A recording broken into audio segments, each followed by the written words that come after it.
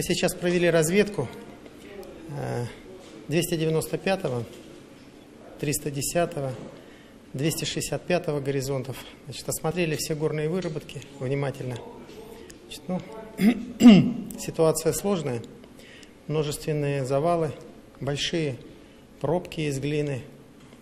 Большинство восстающих выработок полностью затоплены.